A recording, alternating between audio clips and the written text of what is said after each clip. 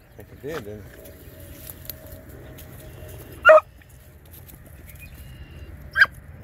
Straight ahead. Right,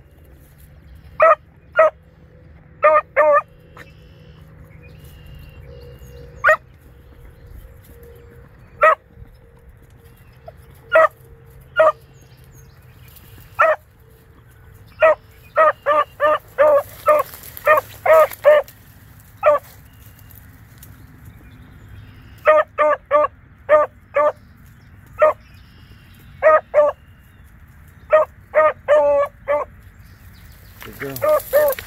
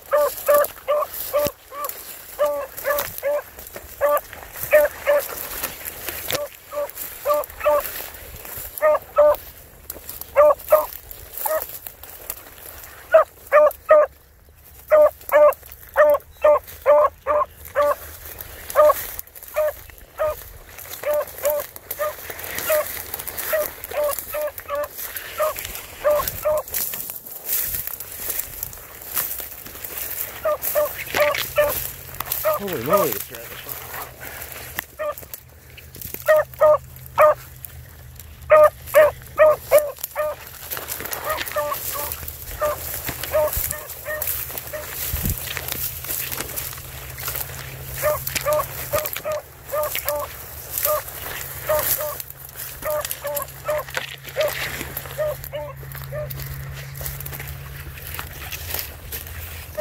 This